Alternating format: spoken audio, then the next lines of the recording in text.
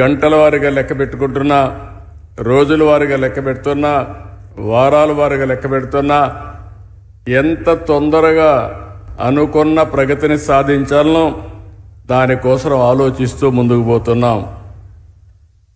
నేను ఇప్పుడు మొదటిసారి కాదు నాలుగోసారి ముఖ్యమంత్రి. కానీ మూడు సార్లు నాకు ఎప్పుడు ఇంత కష్టం అనిపించలేదు. ఈసారి మొత్తం విధ్వంసమైన వ్యవస్థని బాగు చేయడానికి చాలా సమస్యలున్న పట్టు వదిలిపెట్టను. గాడి దప్పిన పరిపాలన ఘాట్లో పెట్టి మళ్ళీ నడిపించే బాధ్యత ప్రభుత్వం తీసుకుంటుందని చెప్పి కూడా నేను మీకు తెలియజేస్తున్నా. అందుకే ఆంధ్రప్రదేశ్ అంటే నిన్నటి వరకు అందరూ కూడా అవహేళనగా చూసేవాళ్ళు. ఆంధ్రప్రదేశ్ రోడ్లు ఇంతే ఎక్కడ చూసినా గుంతలే ఉంటాయి.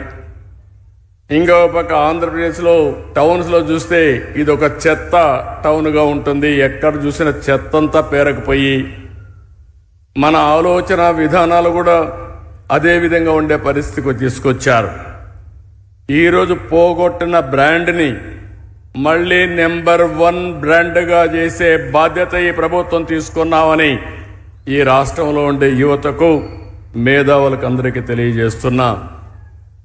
నేను ఒకటే చెప్పాను నేను మా మిత్రుడు పవన్ కళ్యాణ్ గారు. అదే మరి కేంద్రంలో నరేంద్ర మోడీ గారు ప్రధానమంత్రి గారు.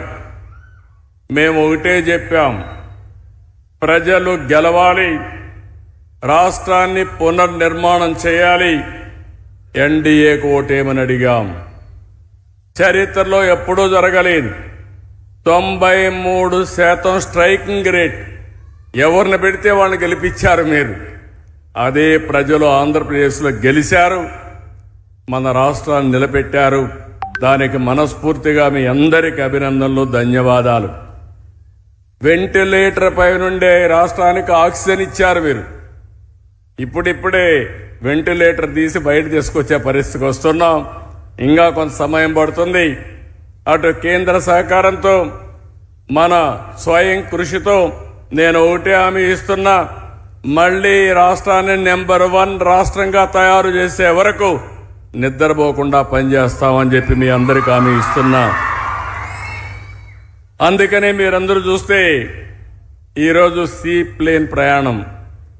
ఇది ఒక వినూత్నమైన అవకాశం. దానికి కూడా ఏంటనేది మనం అందరం కూడా ఆలోచించుకుంటే నేను అవన్నీ కూడా మీకు ఒకసారి ఎక్స్ప్లెయిన్ చేస్తాను. ఒక విషయం మీరు గుర్తుపెట్టుకోవాలి.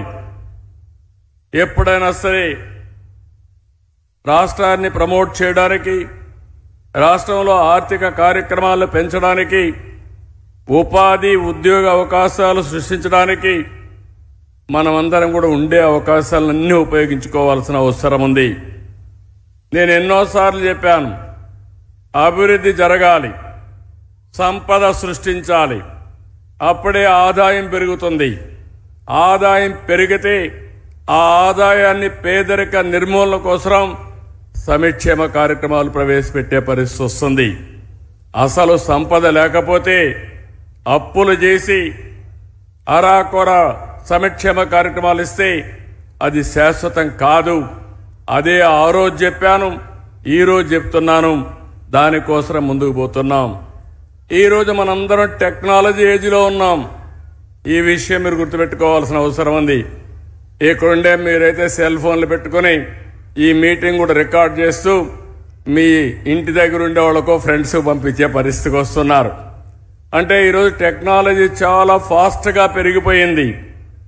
అలాంటి టెక్నాలజీ ఏజ్లో ఆ